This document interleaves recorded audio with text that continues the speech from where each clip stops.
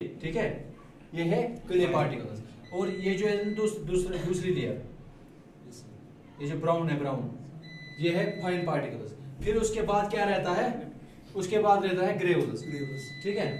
तो इसमें इसमें इसमें भी दो दो टाइप ऑफ़ फिल्टर्स दो टाइप ऑफ़ फिल्टर्स होते हैं। एक होता है स्लो सैंड फ़िल्टर और दूसरा होता है rapid sand filter slow sand filter में क्या करते हैं हम? स्लो सैंड फ़िल्टर में स्पीड जो है ना बहुत कम करते हैं वाटर की।